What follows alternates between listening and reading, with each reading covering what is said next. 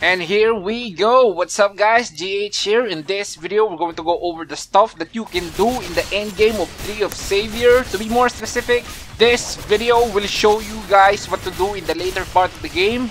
You know, content that will help you keep busy and keep playing. And with that said, strap yourself right in and let's do this.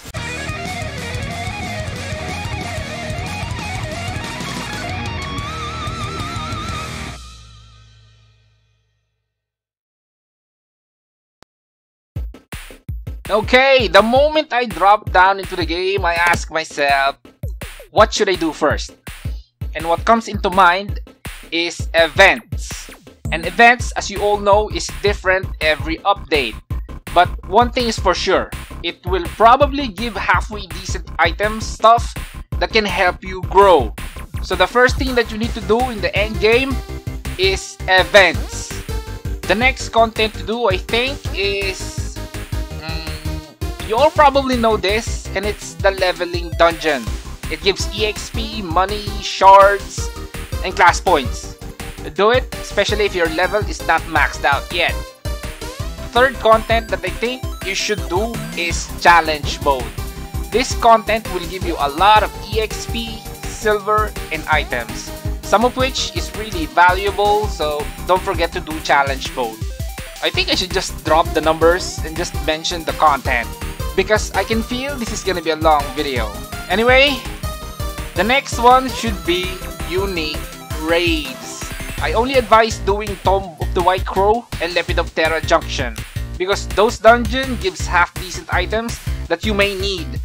You can do the other raid dungeons for fun or if you really want something there. And of course, if you're doing unique raids, the next step is legendary raids. This is where the good stuff is. There's Legendary Tomb of the White Crow and Junction Legendary. There is different modes to play this Legendary raid, so see what you can do. There's Party Mode and Solo. And yeah, I've been talking about raids and I guess I should mention that you can warp for free in the raid dungeons by just clicking warp here. Just press that button and you will be warped in the entrance of the dungeon.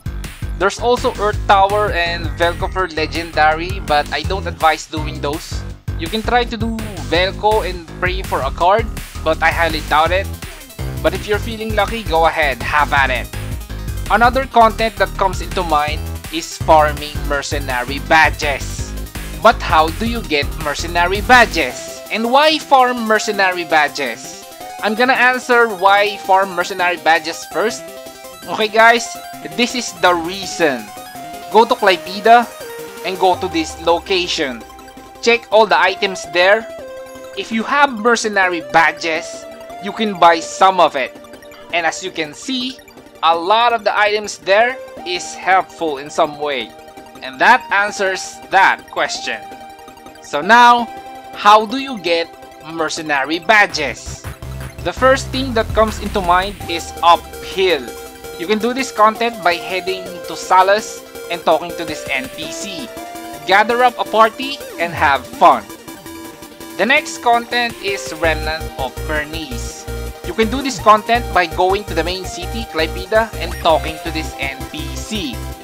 Remnant of Bernice is kinda like survival mode, last for as long as you can, and you will be rewarded based on how far you got. They will reward you weekly, so keep checking this button and hit claim reward to get your mercenary badges.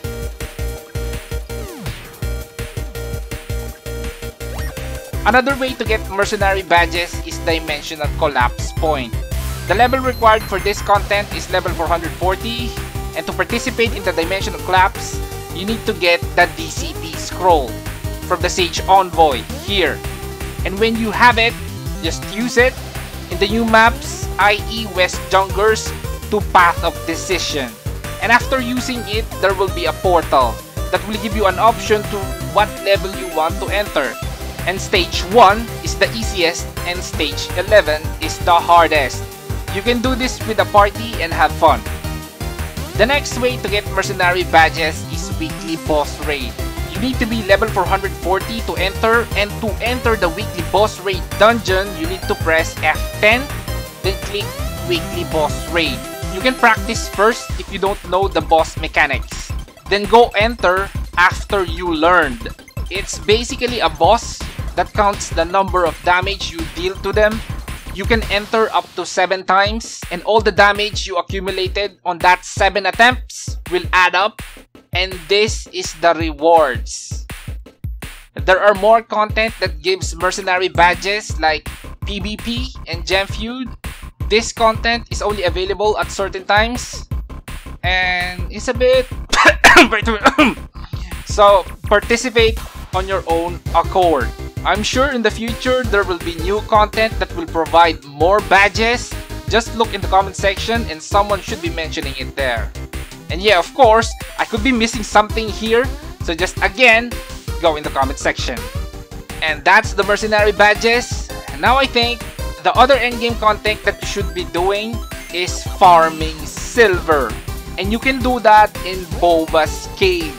Get an SR Tomotorch Enchanter and farm Boba's Cave. Another option for silver farming is Outer Sewers.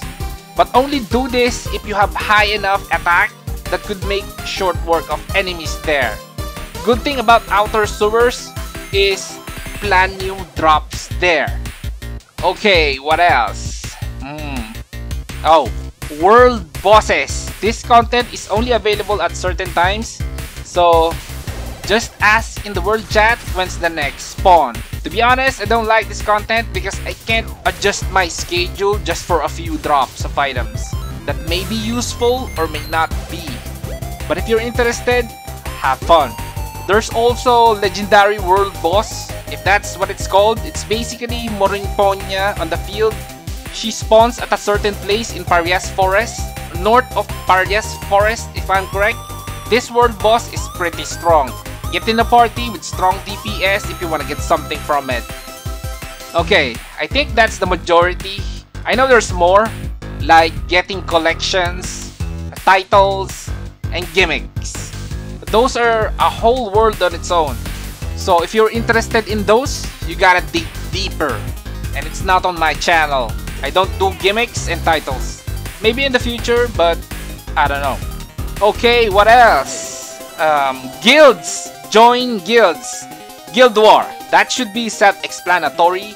Guilds has its own quests and raids and hangouts and buffs if so happen your guild is high level enough. Okay, the last thing that I could share here is finish off all the main quests because it gives insane rewards that will surely help you grow in the game.